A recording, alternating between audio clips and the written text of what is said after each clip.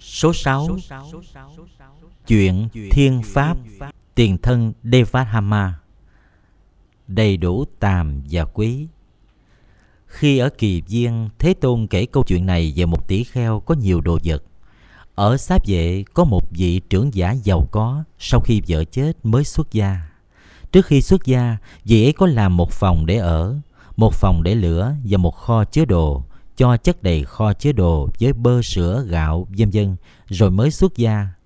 Sau khi xuất gia vị ấy cho gọi những người đầy tớ của mình bảo nấu các đồ ăn theo sở thích và thọ dụng các món ăn ấy. Vị ấy có rất nhiều vật dụng, ban đêm có bộ đồ lót, có áo choàng riêng, ban ngày có bộ đồ lót, có áo choàng riêng và sống cách biệt sau biên địa ngôi tịnh xá. Một hôm trong khi vị ấy lấy các y và đồ nằm trải chúng trong phòng để phơi cho khô.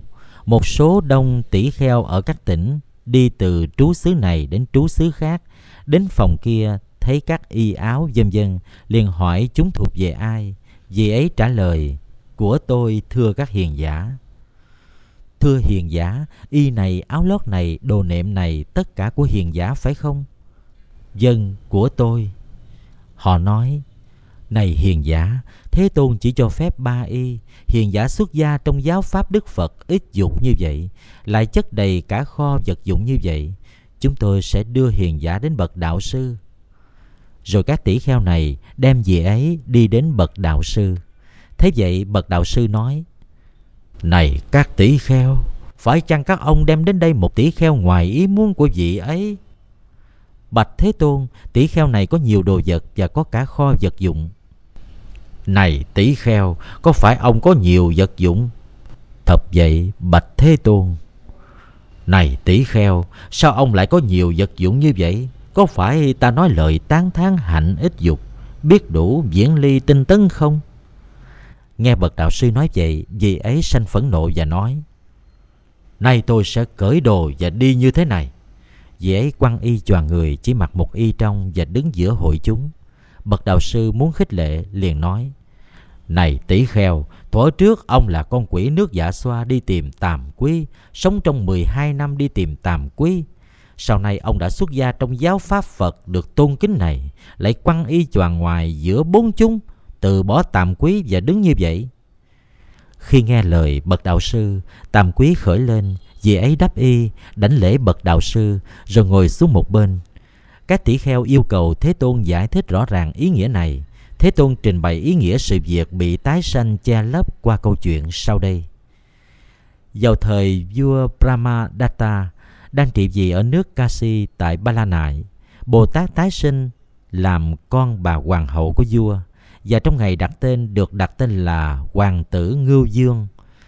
Khi Bồ Tát bắt đầu đi được, chạy được, một con trai thứ hai ra đời và được đặt tên là Mặt Trăng. Khi đứa trẻ này bắt đầu đi được, chạy được, mẹ Bồ Tát mệnh chung. Vua đặt một người khác lên làm hoàng hậu, rất được vua sủng ái. Bà hoàng hậu này trong tình thương yêu ấy sanh được một con trai đặt tên là Mặt Trời.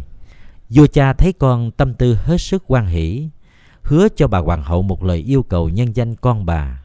Bà hoàng hậu giữ lời hứa lại, mong được thực hiện ý muốn mai sau. Khi con bà lớn lên, bà tâu với vua. Khi sanh con của thiếp, đại dương có hứa cho một điều yêu cầu. Vậy hãy cho thiếp làm vua.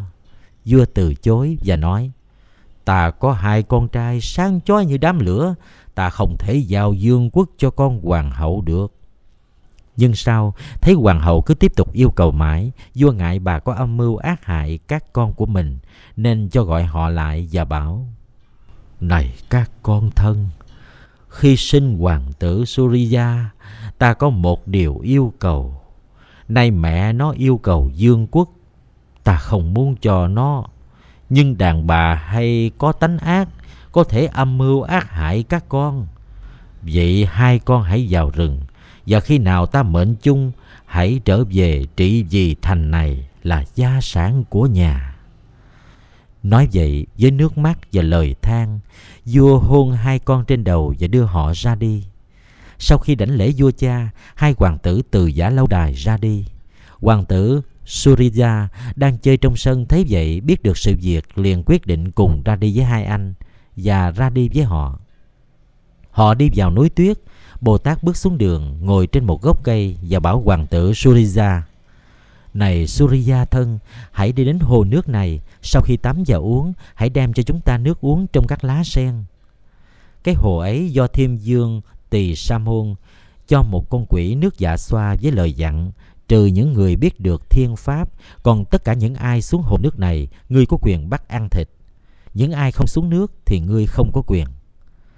Từ đó về sau, quỷ dạ xoa hỏi thiên pháp những ai xuống hồ nước ấy, ai không biết thì nó ăn thịt. Hoàng tử suriya đi đến hồ nước này, không quan sát gì, cứ bước xuống hồ. Quỷ dạ xoa bắt được và hỏi người có biết thiên pháp không? Hoàng tử đáp, ta biết, đó là mặt trời, mặt trăng quỷ dạ xoa nói, ngươi không biết thiên pháp rồi bắt chàng xuống nước và giam chàng tại thủy cung của mình bồ tát thấy em mình đi quá lâu, liền sai hoàng tử Kanda đi. Quỷ dạ xoa cũng bắt chàng hỏi về thiên pháp và hoàng tử Kanda trả lời, thiên pháp là bốn phương. Quỷ dạ xoa nói, chàng không biết thiên pháp bắt chàng và cũng giam tại chỗ ấy. Bồ Tát thấy Kanda đi quá lâu, nghĩ rằng chắc có trở ngại gì xảy ra cho mỗi người, liền tự mình đi đến chỗ ấy. Thấy được dấu chân của hai người đi xuống, nghĩ rằng hồ ấy có thể là chỗ trú ẩn của quỷ dạ xoa. Bồ Tát liền rút kiếm ra cầm cung và đứng sẵn sàng. Con quỷ nước dạ xoa biết Bồ Tát không chịu xuống nước, quá hiện một người đi làm rừng, nói với Bồ Tát. Này bạn, bạn đi đường mệt, sao bạn không xuống hồ này tắm, uống nước, ăn củ sen, trang điểm với hoa sen, rồi đi chỗ nào bạn ưa thích. Bồ Tát thấy vậy, biết nó là quỷ dạ xoa, liền hỏi nó. Có phải người bắt các em của ta không? Phải, ta bắt đấy. Vì sao chứ? Vì ai xuống hồ này đều thuộc về ta. Có phải tất cả đều thuộc về ngươi à? Trừ những ai biết được thiên pháp, còn lại đều thuộc về ta. Ngươi có muốn biết thiên pháp không? Có, ta muốn biết. Nếu như vậy, ta sẽ nói cho ngươi về thiên pháp. Vậy bạn hãy nói đi, ta sẽ nghe thiên pháp. Bồ Tát nói, ta có thể nói thiên pháp, nhưng tay chân đều lấm bụi. Quỷ dạ xoa tắm cho Bồ Tát, cho ngài ăn, cho uống nước, cho trang sức với bông hoa, cho hoa với hương thơm và trải một tọa sàn giữa một cái rạp được trang hoàng lộng lẫy.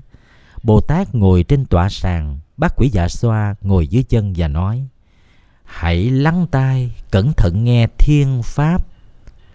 Ngài nói lên bài kệ này, đầy đủ tàm và quý, chuyên tâm về bạch pháp, an tịnh bậc chân nhân, ở đời gọi thiên pháp. Và xoa nghe pháp thoại này, tâm sanh tịnh tín, thưa với Bồ Tát. Thưa bậc hiền trí, tôi cảm thấy tịnh tín đối với Ngài và muốn cho Ngài một người em Vậy tôi đem đến người nào? Hãy đem đến đứa trẻ nhất. Thưa bậc hiền trí, dầu Ngài biết hoàn toàn thiên pháp, Ngài lại không xử sự theo thiên pháp. Tại sao vậy? Sao Ngài lại chọn người em, bỏ người anh? Ngài không kính trọng tuổi lớn hơn của nó. Này giả xoa, ta không những biết thiên pháp mà còn xử sự đúng thiên pháp. Chính vì đứa em ấy mà chúng ta đi vào rừng này. Chính vì hạnh phúc cho đứa em ấy mà mẹ nó xin vua cha quốc độ. Và phụ dương chúng ta từ chối không chấp nhận lời yêu cầu. Bằng lòng cho chúng ta sống ở trong rừng với mục đích bảo vệ chúng ta. Đứa trẻ ấy không nghĩ đến trở về, đã đi theo chúng ta. Nếu như ai nghe được rằng trong rừng một dạ xoa đã ăn nó rồi, thì không ai có thể tin được. Chính vì sợ bị quở trách mà ta bảo ngươi đem nó cho ta.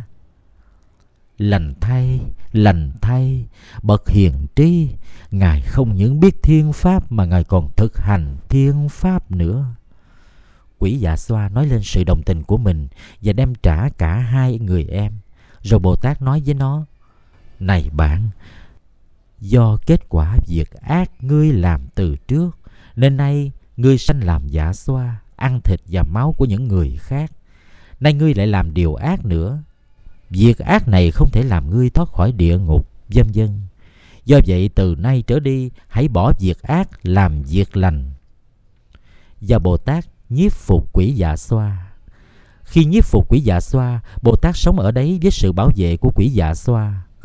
Một ngày kia, nhìn lên các vì sao, Biết được phụ dương đã mệnh chung. Bồ Tát đem theo quỷ dạ xoa về Ba La Nại Lấy lại dương quốc, Phong hoàng tử Kanda làm phó dương Đặt hoàng tử Suriya làm tổng tư lệnh quân đội.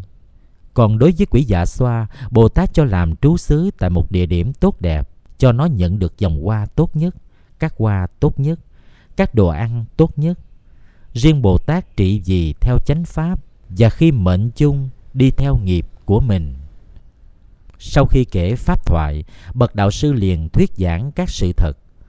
Cuối bài giảng, tỷ kheo ấy chứng quả dự lưu, bậc chánh đẳng chánh giác kể xong hai câu chuyện kết hợp chúng với nhau và kết luận với sự nhận diện tiền thân như sau. Thời ấy, quỷ giả xoa là tỷ kheo có nhiều đồ vật. Hoàng tử Suriza là Ananda, hoàng tử Kanda là Sariputta xá lợi Phất, và hoàng tử Mahimsaja là ta